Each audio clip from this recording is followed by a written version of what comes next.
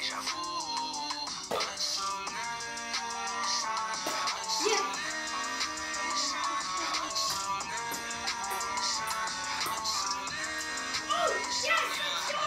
go!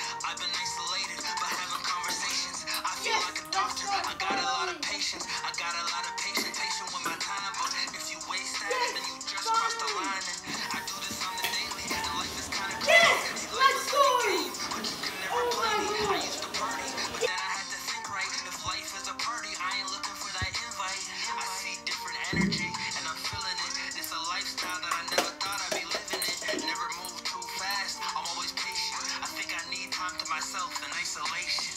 What do I do?